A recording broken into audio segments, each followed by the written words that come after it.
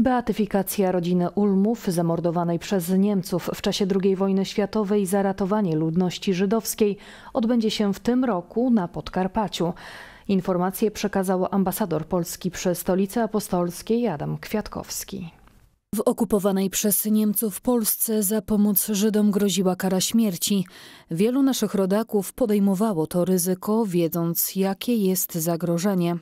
Tymi, którzy w nieludzkich czasach zachowali ludzką twarz, byli między innymi państwo Józef i Wiktoria Ulmowie z Markowej na Podkarpaciu.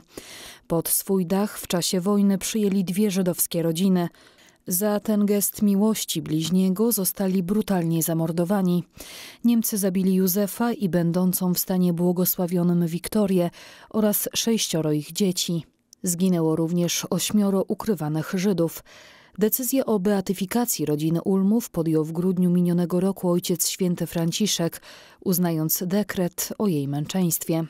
Dziś więcej szczegółów przekazał ambasador Polski przy Stolicy Apostolskiej Adam Kwiatkowski. Beatyfikacja rodziny Ulmów, rodziców i siedmiorga dzieci zamordowanych przez Niemców za ratowanie Żydów 24 marca 1944 roku w Markowej odbędzie się w tym roku na Podkarpaciu. O przygotowaniach do uroczystości z ambasadorem Adamem Kwiatkowskim w Watykanie rozmawiali metropolita Przemyski, ksiądz arcybiskup Adam Szal oraz marszałek województwa podkarpackiego Władysław Ortel. Pamięć Polaków ratujących ludność żydowską w czasie II wojny światowej uczczono w Toruniu. W kaplicy pamięci, znajdującej się w sanktuarium Najświętszej Maryi Panny Gwiazdy Nowej Ewangelizacji świętego Jana Pawła II oraz w Parku Pamięci.